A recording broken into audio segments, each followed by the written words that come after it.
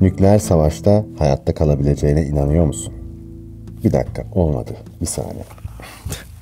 Özür diliyorum. Pardon. Ee, bu bir toz maskesi arkadaşlar. Bir nükleer saldırıda, e, bir nükleer serpintide, bir kirli bombada çok da işimize yaramayacak. Ve arkamda tozla işim olmadığında dekor olarak kullanıyorum. Türkiye gibi bir ülkede ne yazık ki birçoğumuzun hatta hiçbirimizin nükleer sığınakları yok. Peki sen, ben, sıradan Türkiye Cumhuriyeti'nin vatandaşları herhangi bir nükleer saldırıda, herhangi bir nükleer kazada nasıl hayatta kalabiliriz? Hiç mi şansımız yok? şansımız var arkadaşlar. Hepimiz böyle bir nükleer saldırı olduğunda bombayı kafamıza yiyeceğimizi düşünüyoruz ama bombanın bizden uzakta bir yerde patlama ihtimalini göz ardı ediyoruz. Bunu hep konuşuruz değil mi? İşte o şeyi görüyorsan, mantar kafasını falan görüyorsan, işte ne, ne kadar zamanın kaldı, bunların hesaplamaları.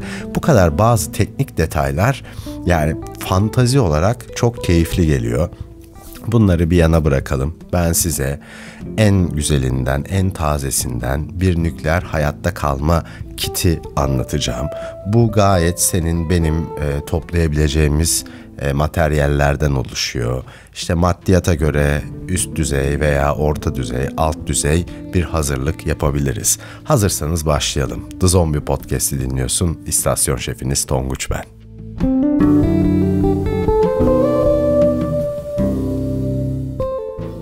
Nedir bu nükleer hayatta kalma kiti? Bir nükleer saldırıdan sonra veyahut bir nükleer kazadan sonra bir serpinti durumunda, bir nükleer kış durumunda hayatta kalma süreni uzatabilecek çeşitli envanterlerden oluşan bir kit bu.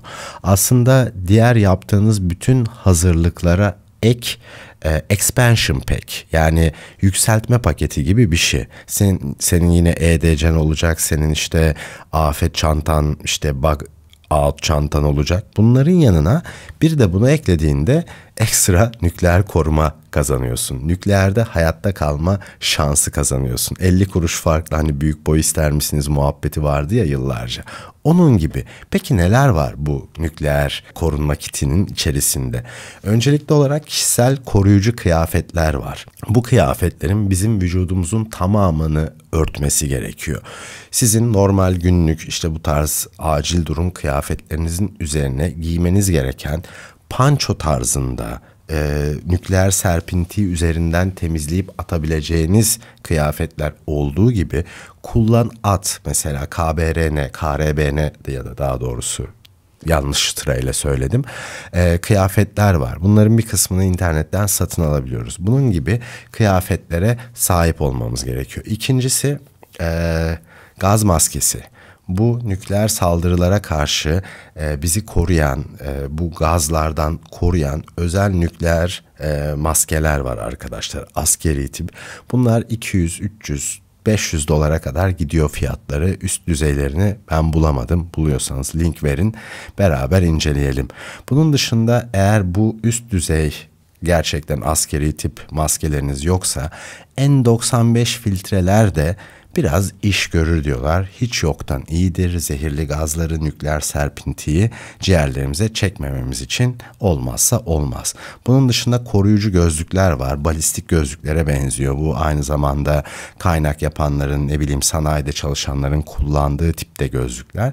Bunlar da direkt ışımalardan korumamasına rağmen en azından zehirli gazların veya şarapnel parçalarının gözümüze vesaire girmesine engel oluyor. Tulum ve eldivenler, e, tulum ve eldiven özellikle bunlar sıklıkla değiştirmemiz gereken, sıklıkla dekontaminasyon yapmamız yani e, bulaşık deterjanıyla yıkayıp e, kendi sığınma alanımıza döndüğümüzde e, kaldırmamız gereken kıyafetler var. Tulumlar mesela kolay yıkanır, kolay arındırılabilir diyerekten bunları yazmış abilerimiz. Mesela ne demiştim bir de yağmur pançosu mesela. Yağmur pançosu da özellikle kafası tam olarak kapatılabilenler e, içimize içimize radyasyon serpintisinin gelmesini bir miktar engelliyor. Hiçbiri yüzde yüz koruma sağlamıyor.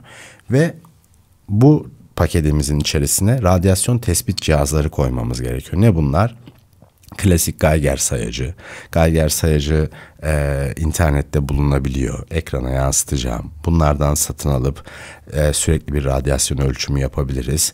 Veya dozimetre kartı. Bu dozimetre kartlarını da işte Çernobil'e gidip video çeken YouTube'çulardan işte çeşitli belgesel ekiplerinden görmüşsünüzdür.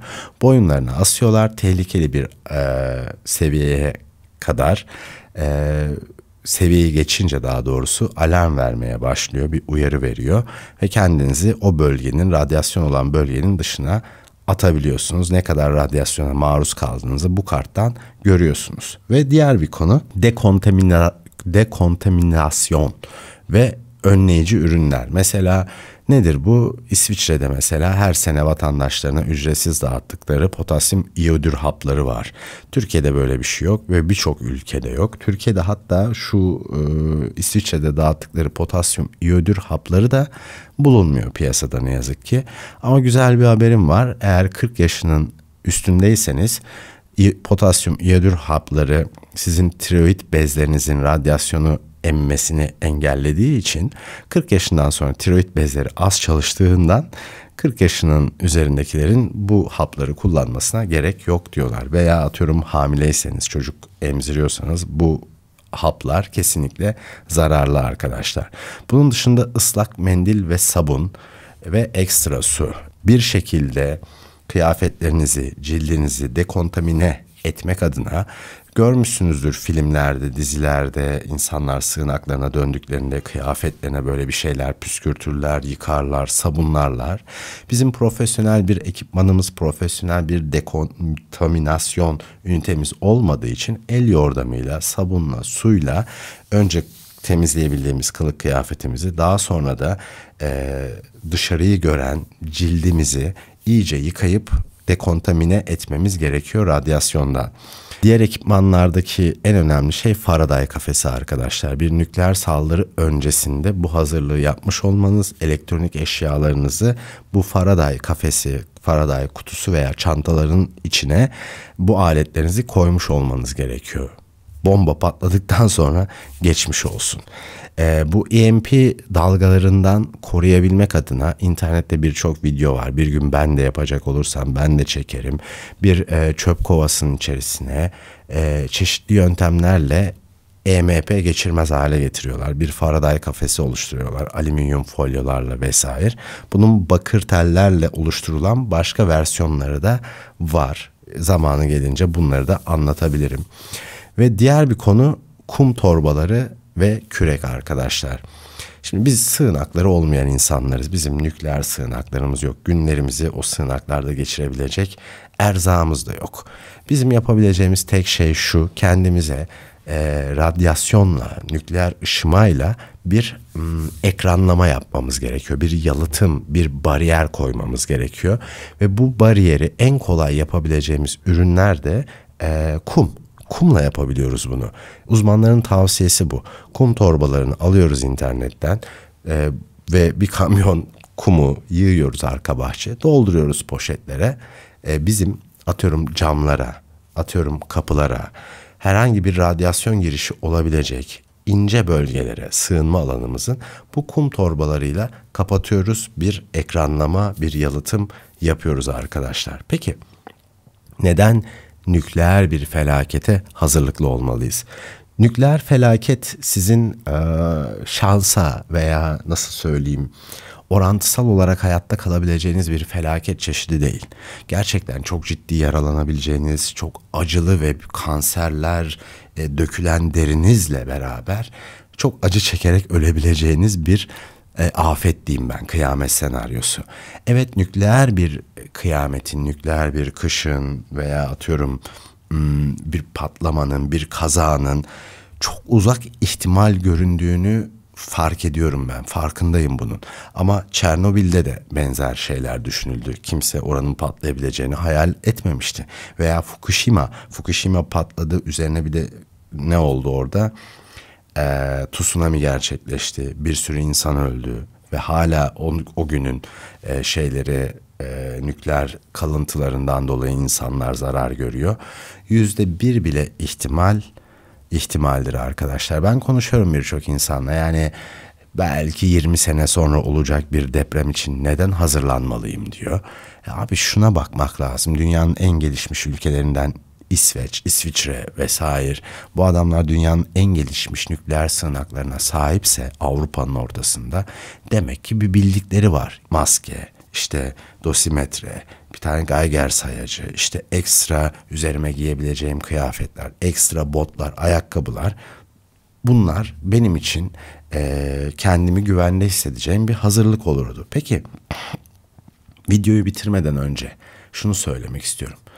Nükleer hazırlığın üç tane altın kuralı var. Bir tanesi zaman. Nükleer e, patlamadan sonra radyasyona ne kadar maruz kaldığınız çok önemli. Bunun dışında e, mesafe, patlamayla veya radyasyonla, nükleer serpintiyle aranızda ne kadar mesafe var. Ve ekranlama yani yalıtım. Radyasyona kar- karşı koruyucu bir bariyer ördün mü, koydun mu? Veya kendini böyle bir yere sakladın mı? Bunları yaptığımız zaman artık en üst düzey yaşanabilecek bir felakete hazırlıklı oluyoruz bir vatandaş seviyesinde. Detaylı bir kontrol listesi hazırladım sizin için. Aşağıda açıklamada linki bulacaksınız. O linke tıkladığınızda sizin için bir alınacaklar listesi, yapılacaklar listesi var. Kendinize göre bunu yazıcı çıktısından alıp e, peyderpey kontrol ederek eksiklerinizi tamamlayarak nükleer bir felakete hazırlıklı olabilirsiniz dostlar. The Zombie Podcast'i dinlediniz. İstasyon şefiniz Tonguç ben. Kendinize iyi bakın. Sonraki videolarda görüşmek üzere. Hoşçakalın.